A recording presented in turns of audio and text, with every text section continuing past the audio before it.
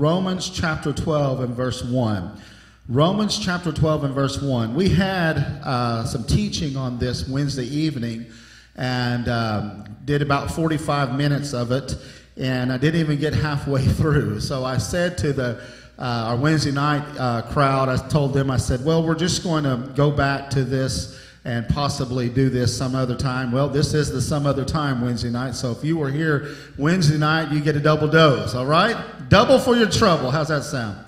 Romans chapter 12 and verse 1, the Bible says, I beseech you, therefore, brethren, by the mercies of God, that you present your bodies. Someone shout, your bodies.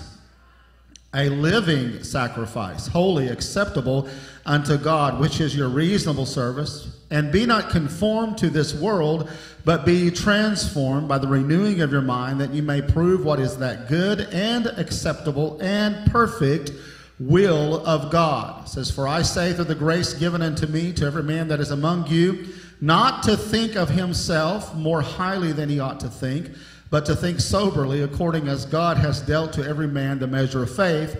For as we have many members in one body, someone shout one body, and all members have not the same office, so we, being many, are one body in Christ. Someone shout, one body in Christ. And everyone members one of another. We're going to uh, minister on the topic, the subject, one body. So, if you will, take your neighbor by the hand as a point of contact and a sign of unity, and let's ask God's blessings and favor upon this word. Father, we love you so much. We're so thankful for the reading of your word. We pray that this word will go forth in power and demonstration of your spirit, a powerful seed planted in good ground to bring forth much fruit. And Holy Spirit, we know you're in this room. We have felt your presence. We ask that you'll continue to lead and guide and direct us. Bring all things back to, uh, uh, to our remembrance, whatsoever has been spoken, whatsoever has been written. Give us insight for our eyesight. Open our ears that we may hear what you are saying to the church. And Father, when we leave this place, we know we'll bear much fruit and we will operate in your gifts. So confirm your word with signs and wonders. In the mighty name of Jesus, we pray. And everybody says, Amen and amen. You may be seated in the presence of the Lord. Thank you for standing in, re- for the, in reverence of the reading of God's word. Well, as I shared Wednesday night, I want to share with you today some fascinating things about the human body. I was telling them our doctor, uh, Dr. Greathouse, who's delivered uh, Levi and Caleb. Uh, great man of God. He's doing missionary work in South America. Great man of God. Uh, but he um, was he was um, I guess highlighted in the in the in the state news, uh, not only in Arkansas but I also believe in Texas, where uh, the miracle happened. He, there was a baby that just wasn't wasn't going to turn just right anyway and he had prayed for this particular mother and this child and immediately they watched it the baby just turned and so he made a lot of news from that this man uh, attended oral roberts university and he's just a just a great man of god. And uh, we we just it wasn't we were searching him out. It just you know that god just made that connection. You should always pray for your boaz and ruth connections divine appointments.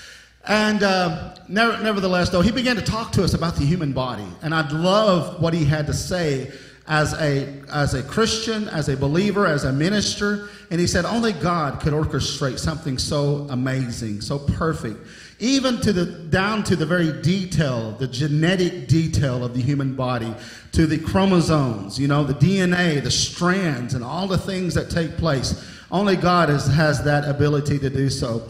Well, I want to share with you some things, some amazing facts about the human body. And some of these are kind of funny. Some of these are very interesting, though. Did you know that your mouth produces about one liter of saliva each day? And I know you're thinking right now, probably moving your mouth around and thinking, hmm, you know, don't want to get the mad cow disease or something like that, right? Did you know your brain is sometimes more active when you're asleep than when you're awake? And some of you can uh, agree with that, right? Because you'd probably know some people whose brain's not very active, very inactive. Did you know that laid end to end, an adult's blood vessels could circle the Earth's equator four times? Wow, that's, that's amazing. In fact, the word muscle comes from the Latin term meaning little mouse, which is what ancient Romans thought uh, bicep muscles look, resembled. Everybody flex your muscle if you have them. You may have to turn around. I know some of you are like, look at me, I'm, I'm strong, right? So uh, I'm, Jeremy's back there, and you know, just be careful, Jeremy, when you're doing that. Uh, and so uh, bodies, did you know this? Bodies give off a tiny amount of light that's too weak for the eye to see. That's incredible to think of.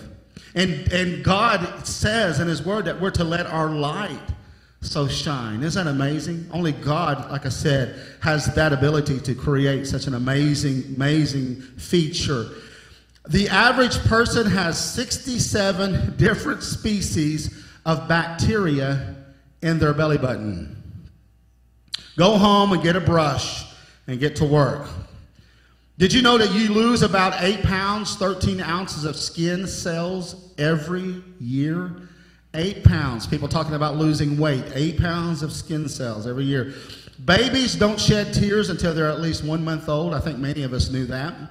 Uh, information zooms along nerves about 250 miles per hour. That's incredible. It says the human heart beats more than 3 billion times in an average lifespan. How many would like for that heart to keep beating, right? All of us would. Did you know that your left lung is about 10% smaller than your right lung? Also, human teeth are just as strong as shark teeth. That's something you can think of when you're looking at Shark Week in a couple of weeks from now. That scientists estimate that the nose can recognize a trillion different scents. Aren't you glad for your nose? okay. Did you know your blood makes up about 8% of your body weight? Just the human blood. The body's inter- interesting, isn't it? It's fascinating that God has this enormous ability to create something so beautiful yet so complex, so amazing. And so the body consists of many parts, the human body. And they all have a form and they all have a function. And if you're following along in your bulletin insert, you're going to write this in. Number one, each part of your body has a respective office. It is designed for that office not another office, for that respective office. Number two, each part of the human body, it contributes to the perfection and the support of the whole. So it's not only filling that, that uh, respective office, but it's also contributing. It is the part of the body, it's important. Number three, each part is indispensably necessary in the place which it occupies. It is there for a particular reason. God put it there. There's a reason that it's there, and it has a purpose. Number four, the last one is this each part is equally useful, though performing a different function. Equally useful. It is very useful, yet it has different functionality. And so I want to talk to you a little bit about one body, about the body of Christ, as we look at it and reflect upon the human body, the anatomy of our body. And this is interesting that the Apostle Paul would use this metaphor, the human body, one body. So let's ask this question before we get to this next segment. I want to ask you which part of the human body gets the most attention? In your assessment, in your own opinion, which part of the human body gets most of the attention?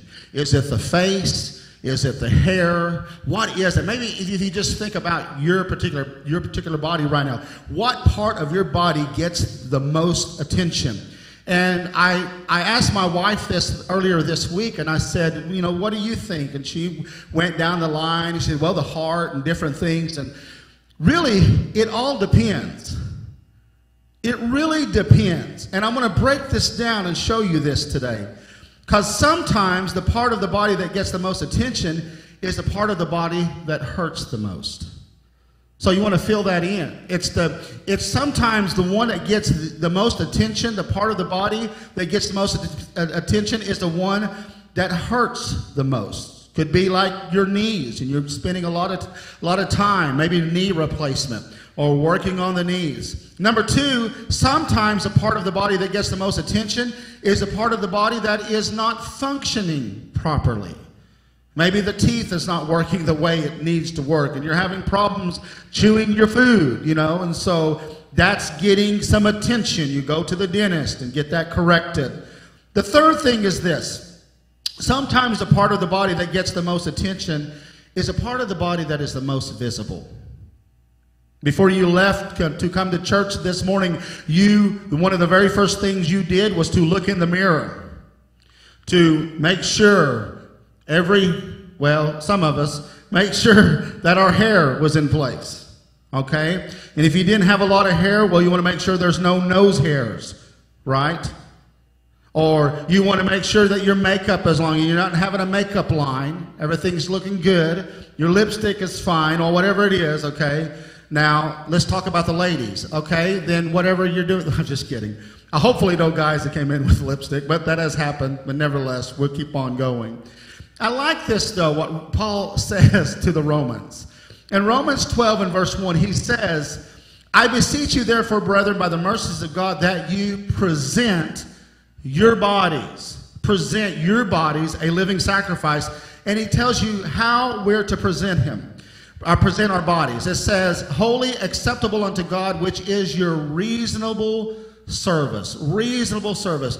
You know, sometimes I think God, He's not going to ask us to do something that's uh, unreasonable, right? He gives us grace and He gives us mercy, and He's going to ask us to do something that is in our power to do it. And so I'm under the impression, though, when I begin to look at this whole idea of coming to God and presenting our bodies as a living sacrifice, I'm under the pr- impression that the body of Christ spends more time on the form of the body than on the function of the body. That we are spending so much energy and effort on what the program may look like than, uh, than spending the effort on the outreach. We spend so much time on making sure the sound system is sounding good and, and there's no flaws in it and everything's in tune, but we rarely spend any time praying with one another. Do you understand what I'm saying? We, we're so keyed on the form that we're leaving out the function. And there's something happening there, and we need to investigate and examine this and say, okay, God, what is happening? It's amazing to me how quickly we as believers misinterpret Scripture. There, there are people who've taken this, perhaps Romans 12 and 1, and they've taken this scripture and they said, present your bodies as a living sacrifice, and they become legalistic with this scripture. Presenting your bodies a living, living sacrifice. They developed it into a dress code. They developed it into the way that one should wear their hair or even amount of jewelry or makeup that one wears. And they use that particular shape. They say, be holy. And they're, they're so, like I said, they're so caught up on the form that they've left out the function.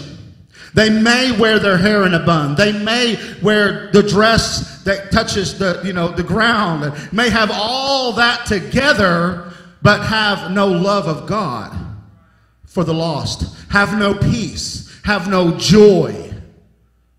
So God is teaching the church and he's guiding and instructing us that we need to spend more time in a reflection of him than in who what in, in other words instead of who we think we should be or what scripture. And so we get scripture misinterpreted and god is trying to help us. Presenting your bodies as a living sacrifice is a metaphor the Apostle Paul, remember this. People don't realize that the Apostle Paul was Jewish. They think, well, he's here he is and he's writing all these. He is Jewish, even though he is a Roman citizen, he is Jewish. In fact, there are some Bible scholars who say the Apostle Paul came from a priestly lineage. That's why he knew so much about Judaism, about the Torah, and the Haftarah and about the law of Moses and all this stuff. And so this is something that's very intriguing to me. And he writes to these Romans. And so it's a metaphor that he's using. And he's talking about a living sacrifice in terms of bringing sacrifices to the altar of God. So what would happen during that day and time, these Jews, they, the believers during that day and time, they would pick out their choicest animal, the choicest of their flock, they would bring it to the altar, and they would present it as an atonement for the sin. It could be, uh, in some places, it was turtle doves. In some places, it was a lamb. In some places, it was other things, other animals. But that's what this this person would do. But then Apostle Paul, he's writing to them and he says, This is a living sacrifice. What you have been bringing to God has been a dead carcass. But I want you to bring a living sacrifice. And so he writes to them to give themselves up in the spirit of sacrifice. In other words, to be holy, the Lord's property, as the whole burnt offering was that no part was devoted to any other use, to be holy. It's no wonder I see the church wrestling with needless legalism. It's no wonder there are churches who are fighting one another over legalistic, man made laws, in other words, views that have no biblical foundation to begin with. God is calling his people to be holy. God is calling his people to get past the form of godliness and function as a holy people. Give the Lord a good hand clap if you believe that to be true. So if we would if we the body of Christ, if we would spend our energy on the functionality of who we are rather than on what we look like, I believe we'd be more effective than ever before. Think about this. He tells us in Romans 12 and 2, and he continues, and he says, Be not conformed to this world, but be you transformed by the renewing of your mind, that you may prove what is that good, acceptable, and perfect will of God. We may be in this world, but we're not to act like this world. And he's telling us, Be not conformed to this world, there in Romans 12 and verse 2. And so this is the this is where, and, and I spoke on it in such a such a powerful way Wednesday evening. And I hope today that I can still translate what I said Wednesday evening to you this morning. The pursuit of this world leads to lust. The pursuit of this world leads to greed. The pursuit of this world leads to pride. The pursuit of this world ultimately will lead all of us to pain. Remember, we are in this world, but we are not of this world, and we're not to act like this world. We're not to conform to this world. Yet we are seeing the church, hello, not just not gospel lighthouse church, right? But the church down the road, okay? We're seeing a conformity to the things of the world. Now, this is a very dangerous place for the church to be. First of all, the Bible says that Jesus is coming back for a church who has made herself spotless who has made herself ready, as a bride makes herself ready. And second of all, he's coming back to the faithful. And so, James 4 and 4 covers this. And I yet have heard many pastors dare preach on this to the congregation. Because this is, in my assessment, is one of the strongest words for today's believer.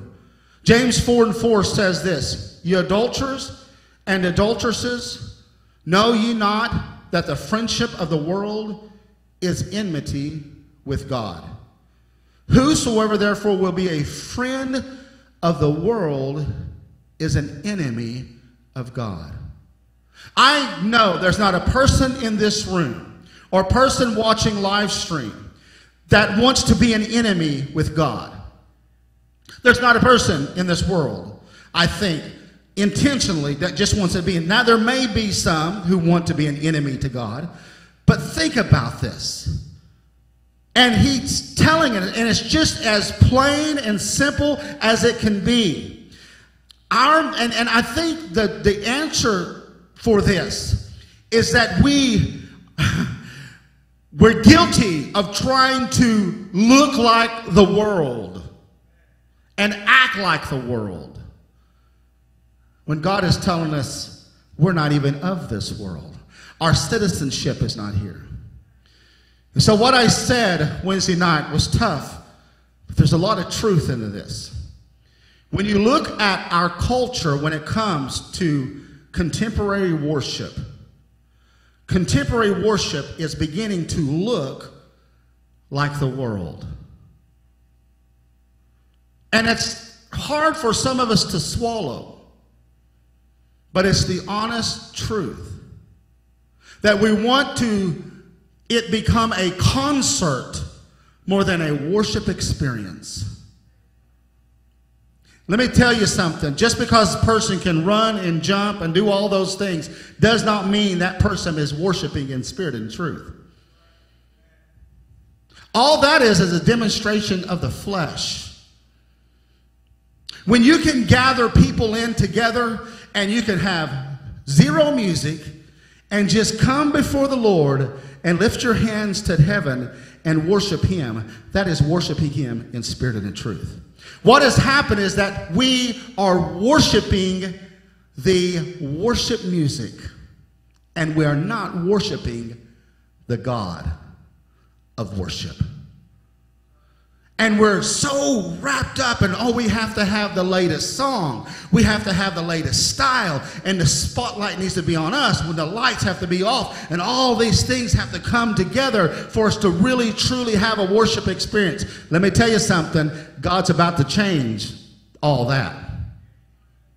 What would happen if there were no lights, no sound, no music? Could you still worship with the same uh, strength, the same passion, the same uh, love, and the same hope and same peace?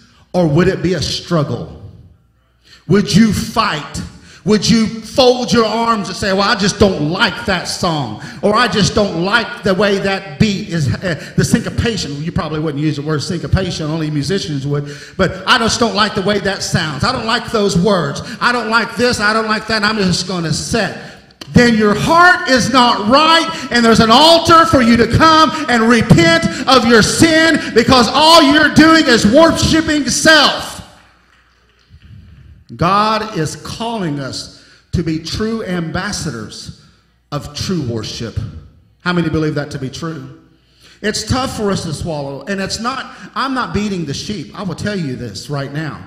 It is the honest truth. It's time to reevaluate where we are headed as wor- in, in terms of worship. Well, so I think of this and I thought, man, that is such a that is such a powerful scripture. Friendship of the world is an enemy of God. That's, we're in this world. So what do we do?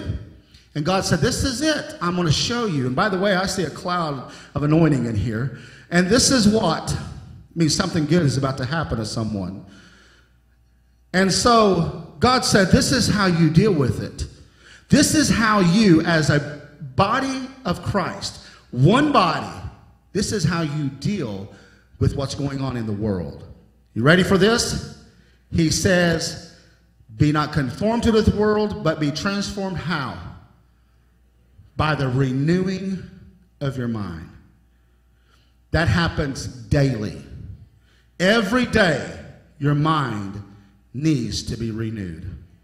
Renewing your mind on a daily basis. Why? Well, this is why. We must let the inward change produce an outward change. The premise of the book that I've written called the re, uh, uh, Resolving the, the Rule Mentality is this. You cannot change the way people think, but you can challenge people to, to change the way they, they think. You can challenge them. Do you know, people, do you know anybody that's just set in their ways and they just think it's this way and it's always going to be this way and it's never going to change, right? But you can challenge people to change. And that's the problem. People just don't want to change. They want to keep it the way it is. But if you will renew your mind every day, you'll be open to the leadership of the Holy Spirit, open to His change. This is what Ephesians 4, verse 22 says. It says that you put off concerning the former conversation the old man, which is corrupt according to the deceitful lust. Look at verse 23. It says, and be renewed in the spirit of your mind, and that you put on the new man, which after God is created in righteousness and true holiness. It's a process that we all must take part in. Renewing our mind, putting off the old man and putting on the new man. And so, a message the Lord gave me back in February was called uh, how, the, how the world wants to, it's called to seduce you to reduce you. I may preach that sometime, but I want to share, you an, ex, share an excerpt from that uh, message. It's what the world wants to do. Wants to seduce you to reduce you. The thief cometh not but to steal, kill, and destroy. Am I right? And so what he does, he wants to steal from you. He wants to kill. He wants to destroy. He seduces you to reduce you, to bring you to nothing. Now, I understand a little principle about this because, see, we really are nothing. We need God's leadership. But I'm not talking about that. I'm not talking that you decrease, that Christ will increase in you. I'm talking how the devil's breaking some of you down. And he's doing it in your mind. You know, sometimes we come to the pastor and we pray and we say, Oh, pastor, please pray for me. Please pray for me.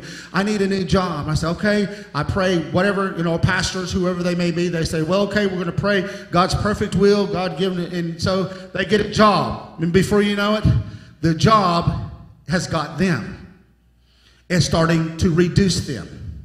And before you know it, they're brought out of church and they're out of church. Or, Pastor, please pray for me. I, I need a mate. Anybody know anybody like that? Don't you don't want me to pray for you, okay? But if you want somebody, if you want me to pray, I'll, I'll literally pray for you. If you're looking for somebody, I'll pray that God send the right one. Hello, God's perfect one. Right? I, oh, but I want him to be six five, you know, dark hair, handsome, you know, skinny build, strong. Want him to have a lot of money, you know, all those things. It's amazing how we'll ask pastors or leadership to pray for something specific and pray for them. And then when they get that, that specific thing has become their God and has taken them out of church. Hello. Well, maybe we need to evaluate even that. How things have been reducing us. Seducing to reduce. Exactly what happened with Samson and Delilah. Seducing to reduce. Exactly what took place. And this is what the world, this is what the world wants to do to you. Reduce you. And does it by seducing you. Look at 1 John chapter 2. Verse 15, it says, Love not the world, neither the things that are in the world. If any man love the world, the love of the Father is not in him. For all that is in the world, the lust of the flesh, the lust of the eyes, the pride of life is not of the Father, but is of the world. And it says, The world passes away, and the lust thereof, but he that doeth the will of God abides forever. Well, what's the will of God? I want to do the will of God. How many in here with an uplifted hand can say, Pastor JC, I want to do the will of God? I want to know the will of God. I want to operate in the will of God. Are you ready? I'm going to tell you what the will of God is. Are you ready for this? It says, and be not conformed to this world, but be transformed by the renewing of your mind that you may prove what is that good, acceptable, and perfect will of God. There's the will of God. If you are not applying his evident will in your life, you're never going to know His perfect will for your life. So I want to know His perfect will. In fact, don't just learn enough to be dangerous, but learn enough to stay out of danger. There's a lot of people that just learn enough, oh, yeah, I've got enough word of God, and I'm a Bible thumper, but they're in danger all the time, right? So I believe that we're not going to be effective if we're dwelling on the things of this world. If I am teaching these, these beautiful young ladies who sing on Sunday on, on student services, if I'm teaching them, say, oh yeah, you're gonna you're gonna develop into uh, praise and worship, you're gonna do all these things, and I'm teaching them things that are not of God, and I'm giving them goals that is not godly, I am doing them wrong. But if I will set them and say, look, People are not the audience, God is the audience. And you worship with all your heart and all your might, regardless if anybody else worships. Kind of the display of Pastor Crystal at times. If you will just do this for the glory of God, God is going to bless you. But if I'm trying to get them the next record deal, all of it's wrong. And the intention's wrong. So we got to quit dwelling on what this, this world has to offer. Because we're ineffective. And God has called us to be one body. So this brings me to my life point. And if you'll show this life point this morning, our objective is to be effective. Our objective is to be effective. Let's go on in Romans chapter 12 and verse 3. How many is enjoying this teaching today? It says, For I say through the grace given unto me to every man that is among you, not to think of himself more highly than he ought to think, but to think soberly according as God has dealt to every man the measure of faith. Now look at verse 4. It says, For as we have many members in one body, and all members have not the same office, so we, being many, are one body in Christ, and every one members one of another. I want to tell you today God's word is not a suggestion, it is a commandment. He's just not suggesting. It's not a buffet table you can pick and choose what you want to do. It is alive and it is a commandment. So I asked you earlier, and we were reflecting on the anatomy of the human body, but I want us to reflect on the anatomy of the body of Christ, the church body, in respect of Gospel Lighthouse Church. Let me ask you now, which part of the human body, or excuse me, which part of the body of Christ gets the most attention? Which part of Gospel Lighthouse Church gets the most attention? Let's look at this in deeper detail. First of all, we said number one is the part that hurts the most. It's the part that hurts the most. We're talking about moving from form to function. Is the person that is hurting the most, are they getting the attention from the body of Christ like they need? Hmm. It's no surprise that hurting people hurt people. There's people today in this room who are hurting. And they hurt people. Not intentionally, it's just because they're wounded, they're hurt. And they may say something or may not say something. They may not be there for you because they themselves are hurting. See, if you're if you injure your foot, you wouldn't cut your foot off and send it to the foot doctor, right? That would be foolish. The Bible says we're one body, right? So when a member of the body is hurting, the entire body is hurting. Hello? I think the reason we're ineffective is because we're not functioning as the body of Christ. Remember when we take communion, the Apostle Paul says there are some that take it and it's damnation to themselves because they were not worthy. But think about this the body of Christ. Think about this. Why are some weak? Why are some sick? Talk about in respect of communion. Why are we ineffective? Because we are not functioning the way God has called the body to function. We've let the injured foot stay injured. And when the injured, the, the injured foot is going to go everywhere the body of Christ goes. And when it's injured, it's hurt. And it's going to cause pain to the rest of the body, especially if it's not dealt with. Look what Galatians 6 and 2 says. It says, Bear you one another's burdens and, and so fulfill the law of Christ. The law of Christ. Bear one another's burdens. Well, let's continue in this examination of the body of Christ. Number two, we said the part that is not functioning properly. the part's not functioning properly. Well, in terms of the body of Christ, what part is not functioning properly? Do you even know the offices of the body of Christ? Do you even know the internal principles of the body of Christ? Are we failing somewhere to teach you?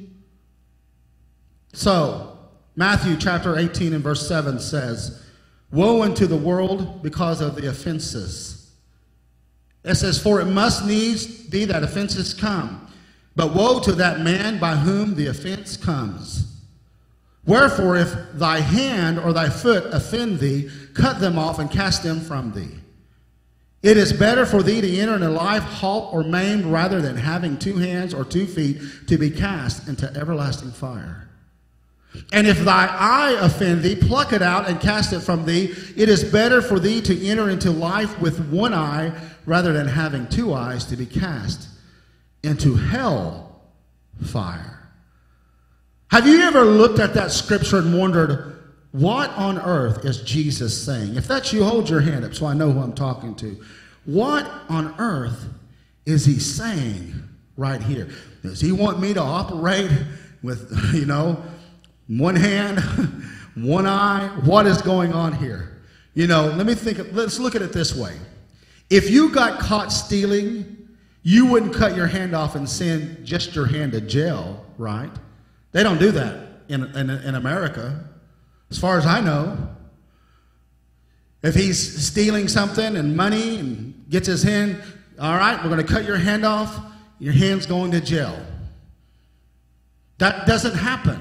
Now, maybe in Haiti and other countries, Muslim countries, maybe that happens. I think they're cutting heads off, though, there, okay, especially in Iran. And so I know some of this happens, but think about that. You're not going to do that if you cause an offense. But if a part of your body isn't functioning properly, you're going to go and you're going to have it checked out with an expert. That's exactly what you're going to do. You're going to find someone expert. I like what Jewish rabbis said about this verse. And this really brings a lot of insight. They are saying it is better for thee to be scorched with a little fire in this world than to be burned with a devouring fire in the world to come. I don't want to go to hell. So when a member of the body is not functioning properly, we need to encourage them and build them up in Christ. Functioning properly. Where is leadership on Wednesday night? Functioning properly. Where are people for board meetings and business meetings? And they say they're signing up and I'll be a part of this, but don't show up, not functioning properly. What do we do? Kick them while they're down? No. You encourage them. We've been missing you. We've been praying for you. You understand what I'm saying? I know some of you are thinking, well, this is, this is getting tough, but it is God's word. He has called us to be one body. And I'm going to prove to you what he says. Galatians 6 and 1. Let's back this up from verse 2 to, to verse 1. It says, Brethren, if a man be overtaken in a fault, it says, Ye which are spiritual. Doesn't mean hyper spiritual, floating around. Ye who are spiritual, restore. Someone shout, restore. Such a one in a spirit of meekness, consider thyself, lest thou also be tempted. That word tempted means tested. Consider yourself, lest you go through the same test that they've been going through. Okay? And so it says to restore. And if we're going to be the body of Christ and we're going to function, we need to function in the spirit of reconciliation and in the spirit, the ministry of reconciliation and the spirit of restoration. You believe that? Shout amen. Number three is this one. In terms of the body of Christ, what gets the most attention, we said number three is there's a possibility, it's the part that is most visible The part that is most visible. Which part of the body is the most visible? It's the head, right? First thing when you see someone walk in a room, you see, you look at them to see who they are. You want to know who that person is? It's the head. And so when it comes to the body of Christ, what is most visible is usually the head. And let me tell you something, though. It is the head, which is the most visible, is what usually is the most scrutinized and under attack. It's the one that's seen the most. Have you ever wondered why they fire head coaches and not players when teams lose? Because he's the head coach. He's the most visible. He's the one that's coaching. He's the one, and he's the one that gets fired. And so let me tell you today, not just pastors and leadership who are being scrutinized. It is the man of God, the head of the home, the high priest of the home, the husband, the man, the prophet of the home that is under scrutiny in this nation. And we need to pray for all of our men of God. Can I have an amen? They are men of valor. And the devil wants to destroy them. When I began pastoring, I started off, prayed for, I went on a Thursday, or excuse me, I went on a Friday, and a gentleman in our church, this is years ago, gentleman in our church, he was kind of causing a little problems here and there with some of the voting and the things that were happening. He wasn't necessarily a member, but I knew that he carried a lot of gravity in the church, and people looked up to him. And, uh, well, actually, that Sunday night, he sang a song, and he said it was called, um, what was the name of that song uh, about God uh, looking out for him? Let's see. Uh, something about having faith in God. I don't remember exactly the name of the song, but anyway, he had a beautiful voice, and this guy could sing, and he was a Sunday school teacher, yet he still wasn't a member yet. And uh, he gave a uh, report that Sunday night before he sang. I don't have to understand, I just need to know his hand. That was the name of the song. I just need to hold his hand. I don't have to understand, I just need to hold his hand. Anyway, he gave a report, and he said, I went to the doctor, and the doctor gave me a great report. I thought, wow. That Friday, I had went and met them and went to go pray with him and make sure everything was good because he knew he had to go to the doctor because he was concerned about something. Well, that was a Sunday night. This was my very first Monday on the job. And so I get a call a little bit before 8 in the morning. And I hear his voice, which I thought it was David Craig. I thought it was Pastor David. I thought he was playing a joke on me because he knew I just started pastoring. And I hear his voice, and he's saying, Pray, brother, pray. And I thought, you know, okay, okay. And I just started praying. I asked who this was, and he told me, and I realized, okay. and then his wife gets on the, on, the, on the other line, and she says, you know, I just think it's one of those things. He's been having heartburn or something. And I told her, I said, Sister, I said, if you think, if it's something with the, with the heart, you need to get to the emergency room as soon as you can or call for an ambulance or something. I didn't know they lived 20 miles out in the forest. And so there's a place called Honey Island right off the Cossatot uh, River, beautiful place. And I said, I'll tell you what, I'm going to meet you out there. Just, just tell me how she, she tried to explain how to get out there, just what roads to take. This is all forest protected roads and uh, roads. And I'm going down there and I'm trying to find her. Uh, and all of a sudden, I see an ambulance. And I said, oh, well, this must be the same place. And so I'm following this ambulance. And we're just way out there. And all of a sudden, this ambulance comes up to a dead end. I mean, there's no road. I mean, the road just stopped. And he turns around, and so I was like, oh, he's lost. And so I'm in the car, and I'm, I'm getting out of the way, and he goes, and he's trying to find this place. And all of a sudden, I see another ambulance come out of this intersection, dirt road, intersection, pine trees all over the place, trying to give you a picture in your mind what it looked like. And then I see her pickup truck following this ambulance. So I said, that is them. So I'm following them, and I mean, they're not doing 50 miles on a dirt road. They're doing 70, 80, 90 miles an hour, this ambulance is. And I can't keep up. I'm in a little Dodge Stratus. and I can't even keep up with them. They're just going this, and I, they know the road and they know all this. So in, I get to the trauma center.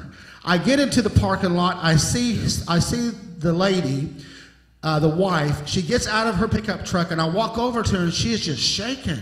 And I said, "Hey, I'm here. Let's pray. Let's let's go." And see, she says, "She says I don't know, Brother Seward. I just don't know, Brother Seward." And I said, "Okay, okay." Now, this gentleman had just sung a song Sunday night, and so here I am, and I get into the trauma center, and there are doctors and nurses and uh, EMTs all around. There's about seven or eight people around this bed, and he has turned blue. He looks at me and he's saying, "Pray, Pastor, pray." And so I'm new on the job. I don't even know this family. I don't know anyone. And I put my hand on his hand and I start praying. And all of a sudden I hear the doctor say clear. And as soon as they, he began to say clear, a nurse grabbed my hand and threw it off of his hand. I, I mean, this is happening so fast. I didn't realize what was going on. And then they shock him and they try for several minutes to bring him back. And they fail.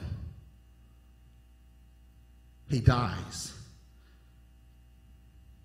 And I think to myself, wow, Lord, this is big. And the doctor looks at me, and there's seven or eight people in there.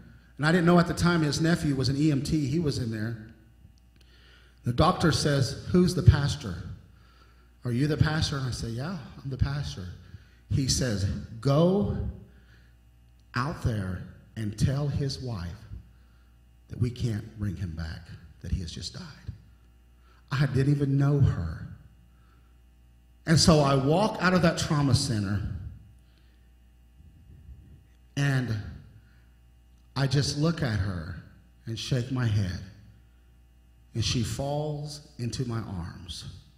And by that time, other family members were showing up. It was devastating. It was horrific. It was hard. And during that time, I know I thought, I'm, I'm, I'm out of my league. I'm out of my element. I was youth pastor. I'm going to go back and be a youth pastor, eat pizza, and play keyboard. It's got to be a lot better than this. During that time, pastoring, in two weeks' time, we had three deaths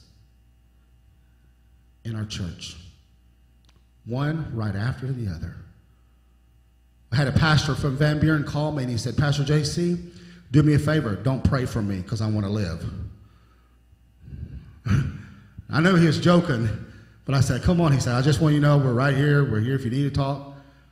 But during that funeral, a pastor came to me and he said something to me and these board members that were from this church I was pastoring.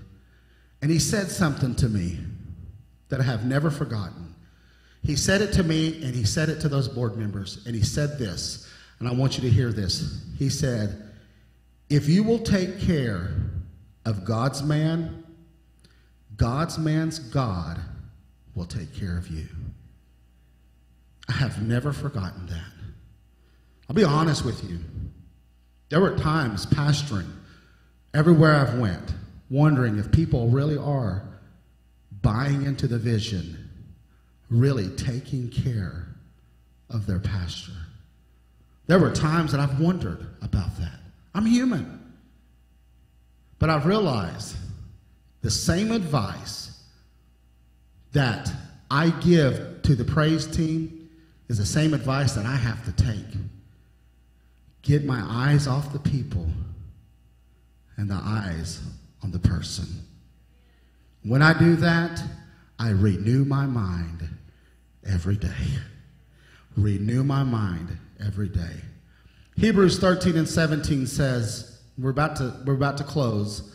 It says, Obey them that have the rule over you and submit yourselves, for they watch for your souls as they that must give account, that they may do it with joy and not with grief. For that is unprofitable for you. Who is the writer of Hebrews talking about? He's talking to the congregation about the pastor. And the head may be the most visible, and it may be getting a lot of attention because the head is looking out for the souls of the people. So, my question for you this morning is this Are you effective? Our life point is our objective is to be effective. Are you effective? Are you? I'm not talking about somebody else. I'm not talking about Pastor Jennifer. I'm talking about Pastor, or, or talking about specifically Pastor Crystal or Kevin. I'm not singling anybody out. I'm talking about you. Are you an effective part of the body of Christ? Are you an effect? Our objective is to be effective. You know what's going to happen? Next couple of months, we're going to see how effective we really are as a body of Christ. Am I right, Brother Kevin? And we're going to be put to test. And we're going to see are we truly the prayer warriors that God has called us to pray? Are we truly the ambassadors? Are we truly the teachers, the elders, the deacons, the, the men, the women of God, the children, the students, all of us? Are we truly the effective body of Christ? And the only way that we can ever answer that question is by being challenged. And I believe God is going to allow us to be challenged. And the reason He challenges us is to get us in shape. Right? So, how do I apply this to my life? So what? Now what? How do I go from auditing this message to applying it? How can I make this message, one body, count for life? I believe the most efficient way to make true application of this message is to realize how important it is for the body of Christ to be one body. There's not one little section here and one little section here. It is the beautiful picture of the body of Christ, the bride of Christ. When we get to heaven, I heard a pastor preaching this week, and he was talking about, well, there's not going to be any, you know, Baptists on this side and Pentecost in the back because they're so loud, and, uh, you know, Lutheran and all these other things. He's, he, he didn't say, no, we're, we're one body. We're the bride of Christ. So I think the most efficient way to do this, to be effective, is to realize how important it is for us to be one body. Listen to what 1 Timothy 4 and 8 says. It says, For bodily exercise profiteth little, but godliness is profitable unto all things, having promise of the life that now is and of that which is to come. Apostle Paul is telling young Timothy, don't spend all your energy on form, but spend your energy on function. Be godly. Stand together with us this morning. If we would put more time into our body, into the body of Christ as we do our own bodies, right? I believe we'd function the way that God has called us to function. So, what if we all determine before I leave this room, what if we all determine to function properly? That if you're if you have a role and the church is honoring that role, whether whether by finances or just honoring the title, that you're going to do your best to fulfill that role. You'll be here earlier. You'll be part of it and you'll serve with joy. I was telling our What's Next class this morning, I said, my grandmother Brown always said, just grin and bear it. Maybe that's what I have to do, just grin and bear it sometimes. Just get through this season. God will, you know, we move from surviving to thriving. Let's change our perspective. Let's renew our mind. Let me tell you something. It's not all about you, it's all about Him. Am I right? What if we determine to function properly? How would that affect you, your family, your job? How would that affect the church? How would it affect the community? Imagine with me Blytheville, a church in Blytheville that is functioning in an effective way. Can you imagine being a church and being accused of turning a city upside down. They did in the day of Acts. It shouldn't be any different today. Take your neighbor by the hand. Father, in the name of Jesus, thank you so much for this word. Thank you, Lord, for the opportunity this morning to pastor Gospel Lighthouse Church. Beautiful, intelligent, very spiritual people. We've had our ups, we've had our downs. But God, we know you are the same yesterday, today, and forever. So as we take this first step to truly becoming one body, God, you will bless and you will honor and you will put your stamp of approval upon us and you will anoint us. And as we operate as one body, your glory is going to come in a greater magnitude, more so than we've ever seen. We're not going to have to drive seven hours to see your glory. Your glory is going to be here in this place in greater magnitude. And we thank you for that. We give you glory and honor. While your head is bowed and your eyes closed, you say, Pastor JC, today this message has stirred my heart, has challenged me. And I've asked myself, I don't find a place where I fit in the body of Christ. I don't find that place. But I want to. I want, I want to know today that I'm a body of Christ, that I'm a part of this body. Not just Gospel Lighthouse Church, but the whole body of Christ. I want to find and discover. And it's going to be through the grace and the mercy of God that I can find that. My purpose for the body of Christ. If that's you, just hold your hand up and say, Pray for me, Pastor JC. I see your hands. I see hands being raised. Pray for me, Pastor JC. I want to discover my purpose. Father, in the name of Jesus, we pray for people today that have their hands raised and are saying, God, I want to know my purpose. I want to discover that. I want to be exactly what you want to be. I want to follow your will your perfect will for my life. Father, I pray, God, that you would guide them and direct them, Holy Spirit. You have free course and liberty to just begin to unveil to them purpose and destiny for their lives and as they fit in the body of Christ. We thank you for that today, and we give you the glory and we give you the honor. In the mighty name of Jesus, we pray. While your head is bowed, I have a word of a word of the Lord for someone. God is saying that you are in a transition. It's a it's over your job. It's over a job that you you have right now. I don't know who you are, but I, I'm hearing what the Lord is saying. God is saying you are in transition and you've been praying, God, do I need to keep this job? Do I need to, what do I need to do about this employment? And God says this this is what the Lord says stand still and see the salvation of the Lord.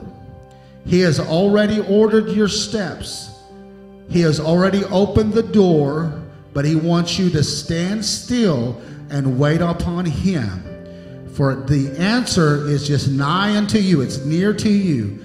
But wait upon the Lord, and He's going to guide and direct you for your next move. Thank you, Father. Let's give the Lord a good hand clap. Lift our hands toward heaven. Let's say our Aaronic Kohenim blessing. First in Hebrew, Yevarei Kakad Adonai V'Yesmarei Kal Ya'er Adonai Panav Lekav Yawena Kal Yasa Adonai Panav Lekav Yasem Lekal Shalom. The Lord bless you and keep you. May the Lord shine his face upon you and be gracious unto you. May the Lord look upon you and give you peace. Arise, shine, for the light has come, and the glory of the Lord is risen upon thee. For behold, the darkness shall cover the earth, and gross darkness the people, but the Lord shall arise upon thee, and his glory shall be seen upon thee. You believe that? Shout hallelujah. One more time, give the Lord a good hand clap. God bless you. You're dismissed. Shake hands, get married. We'll see you at 5 o'clock.